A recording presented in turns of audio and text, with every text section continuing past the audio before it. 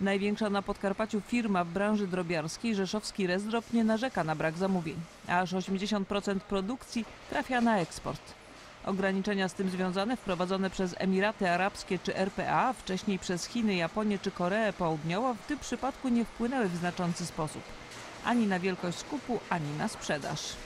Statystyki Komisji e, Europejskiej i prognozy pokazują nam, że popyt na e, mięso drobiowe rośnie średnio o 5% co roku.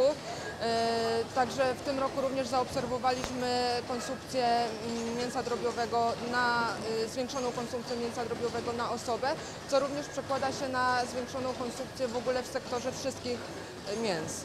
Drób z Polski kupują m.in. odbiorcy z Francji, Niemiec, Wielkiej Brytanii czy Czech. Rzeszowski zakład ma też stałych odbiorców m.in. w Hongkongu, Wietnamie, Uzbekistanie czy Kazachstanie.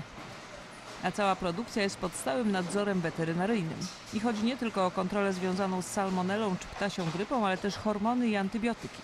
Owszem, są stosowane e, różne e, preparaty, kury również e, chorują na kurnikach, natomiast wszystkie kury, które idą do uboju są badane przez lekarzy weterynarii i nie ma mowy o jakichkolwiek antybiotykach czy jakichś innych hormonach w mięsie, e, ponieważ są w ogóle niedopuszczane do uboju.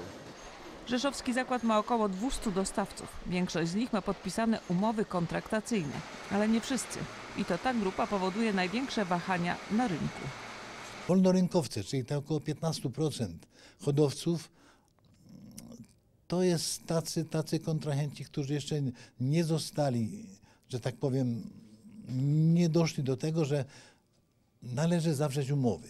Dlatego, że umowy kontraktacyjne dają nam gwarancję stabilnej produkcji, systematycznej, a o to chodzi. I wtedy jest e, szansa na ustabilizowanie cen w skupie Choć już teraz na rynku drobiowym jest bardziej stabilnie niż w przypadku na przykład wieprzowiny. Tylko w lutym ceny skupu drobiu wzrosły już kilkukrotnie, w sumie o średnio 30 groszy za kilogram. Ale w analogicznym okresie rok temu stawki były praktycznie takie same. Średnia cena to niespełna 3,70 za kilogram na wolnym rynku i niespełna 3,30 w przypadku kontraktacji. Systematycznie rosną natomiast wymagania odbiorców. Jednak e, filet, e, filet trochę idzie w odstawkę.